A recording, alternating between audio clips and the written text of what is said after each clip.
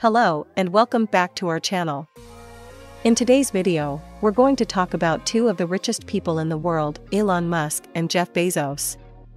They are both disruptors and serial entrepreneurs, and they also compete in the conquest of space. However, their relationship is hard to fathom. Recently, Elon Musk hit Jeff Bezos very hard, and we're here to talk about it. Elon Musk and Jeff Bezos are two of the richest people in the world, and they have even each worn the symbolic crown of the richest person in the world in the past. Musk is the CEO of automaker Tesla, the founder of SpaceX, and the owner of Twitter. Bezos is the founder of Amazon and Blue Origin. On May 6, the two billionaires were at the same place, the 2023 Formula One Miami Grand Prix at the Miami International Autodrome. They were guests of two different teams during the final practice lap, before the race, which took place this Sunday. Musk visited the Red Bull team of outgoing world champion Max Verstappen, accompanied by his three year old son X. He wore a cap and a khaki t shirt. On the other hand, Bezos, accompanied by his girlfriend Lauren Sanchez, wore a black t shirt revealing his muscles and jeans. He and Sanchez visited the McLaren team. Nothing indicates that the two billionaires and rivals actually met.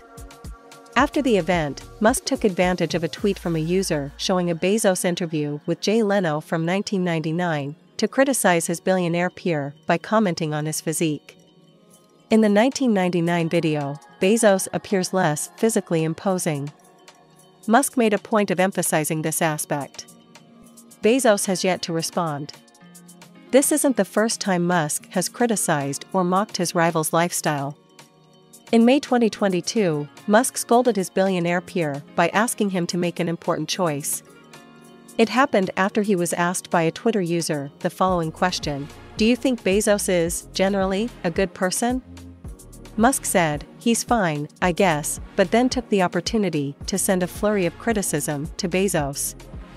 Musk commented, Does seem like he's spending a lot of time in the hot tub these days, referring probably to press articles in the tabloids chronicling the holidays of Bezos and his girlfriend Lauren Sanchez in St. Bart's. If he wants to get to orbit, less partying and more work would be advisable, Musk concluded. If you enjoyed this video, please hit the like button and leave a comment below with your thoughts on this topic. Also, don't forget to subscribe to our channel for more videos like this. Thank you.